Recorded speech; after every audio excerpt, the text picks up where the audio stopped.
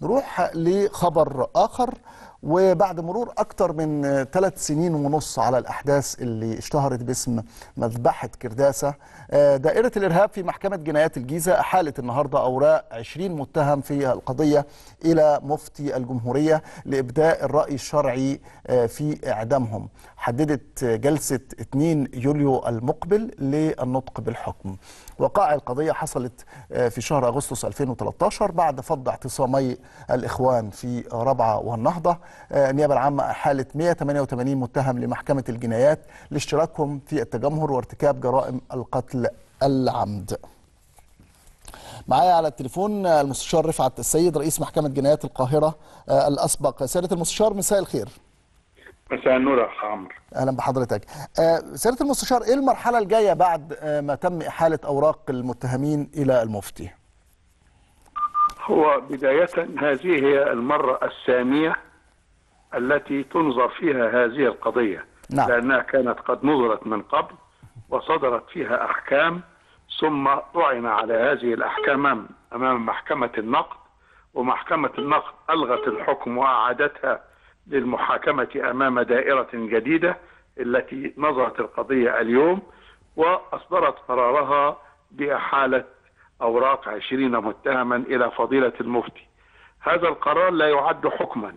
وإنما هو مجرد تمهيد لإصدار الأحكام. م. المحكمة من حقها أن تعدل عن هذا القرار عندما يأتي رد المفتي سواء كان رد المفتي موافقا أو معارضا فهو لا يلزم المحكمة. رأي المفتي هو رأي استشاري. استشاري محض. نعم. تأخذ به المحكمة أو لا تأخذ به حسب ما تراه. فبمجرد أن يبدي المفتي رأيه تصدر المحكمة حكمها سواء كان بتطبيق عقوبة الإعدام التي هي النتاج الطبيعي لإحالة الأوراق إلى المفتي أو تغير من حكمها قبل صدوره بأن تستبعد البعض من حكم الإعدام أو تستبدله بعقوبة أخرى.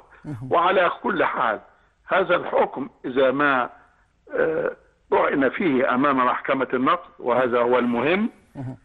إذا طعن فيه أمام محكمة النقد بعد صدوره فإن محكمة النقد إذا رأت أن هناك عوارا في هذا الحكم أو خطأ في هذا الحكم يستوجب إعادة النظر فيه فإنها ملزمة قانونا بأن تتصدى للفصل في موضوع الدعوة ولا تملك أن تحيله مرة أخرى.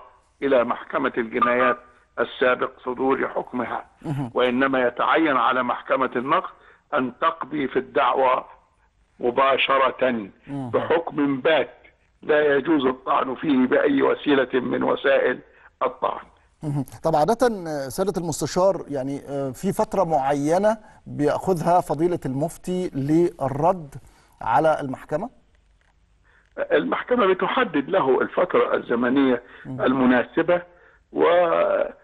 وعادة فضيلة المفتي بيلتزم بهذه الفترة فهو عليه أن يقدم وجهة نظره ورأيه في هذا الحكم قبل الموعد المحدد للنطق بالحكم الذي حددته المحكمة في شهر يوليو القادم. 2 يوليو القادم ده خلاص هيصدر الحكم النهائي الذي لا طعن عليه؟